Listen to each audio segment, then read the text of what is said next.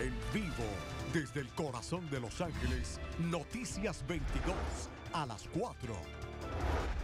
Muchas gracias por estar con nosotros. Padres de familia, alumnos y maestros están demandando al Estado de California y a un distrito escolar argumentando que están violando sus derechos. Dicen que no están recibiendo igualdad de educación y la mayoría de los presuntos afectados son latinos. Vamos con Mariate Ramos para conocer los detalles de este caso. Mariate, te escuchamos.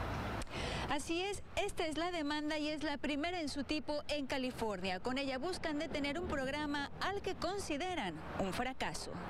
El meollo del asunto es un programa conocido como SLADI por sus siglas en inglés y que fue adoptado hace tres años por el Distrito Escolar de Dinuba, ubicado en el Valle Central de California.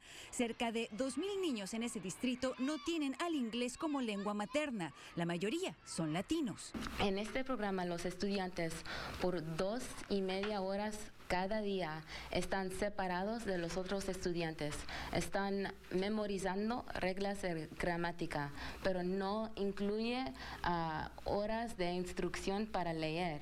Entonces, después del ah, primer semestre, los estudiantes todavía no han aprendiendo cómo leer. Refiere el caso de un niño que ya estando en segundo grado no sabía el abecedario, dado que el distrito escolar de Dinuba implementó el SLADI con el aval de las autoridades del Estado, ambos están siendo demandados por padres de familia, alumnos y maestros, representados por la Unión de Libertades Civiles.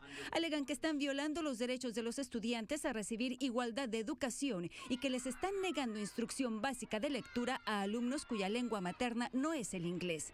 Vía telefónica hablamos con la madre de una niña afectada. Y yo, pues mi niña, ella no puede escribir, no puede hacer las palabras que ella antes hacía anteriormente y hablarlo como lo hablaba antes y leerlo, no ella se siente frustrada por eso.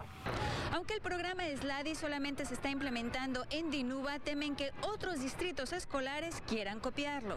En abril de este año, la Asociación de Maestros de Dinuba votó en contra del SLADI, pero hasta el momento no han podido quitarlo. Esperan lograrlo a través de esta demanda. Sabemos que este programa después de tres años no está funcionando, es un fracaso. Buscamos reacciones por parte del Distrito Escolar de Dinuba y del Departamento de Educación del Estado, pero hasta el cierre de esta edición no recibimos respuesta.